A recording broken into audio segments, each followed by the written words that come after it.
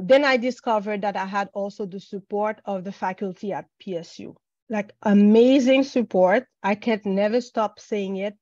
There's no way I could have done it without Dixie, Michelle, Rachel, like amazing, amazing support. So we started the class in January of last year, busy all the time, assignment. Uh, again, it was a lot, but I enjoyed doing it and I realized that I was learning a lot.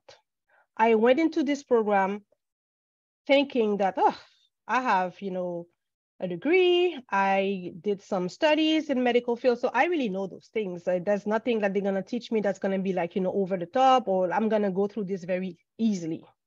Well, I was wrong, but I learned so much.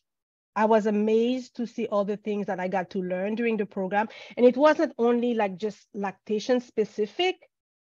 They teach you even how to interact like with other healthcare provider like they left nothing off the table. Like i'm amazed until now to see how that curriculum goes into every little detail of your preparation. So we did the classes very intense.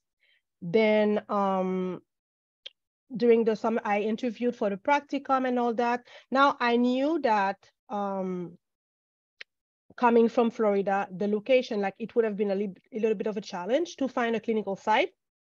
I never imagined how hard it was going to be.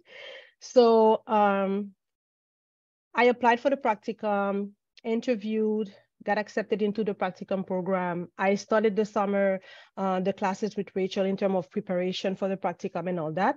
And I was still, you know, checking at people I know who works in the healthcare in hospitals. I have family members who works at three different different hospitals here in South Florida. So I contacted everybody. Um, and they were giving me numbers. Yeah, we'll call you back. We'll check on with you, but nothing was happening, right?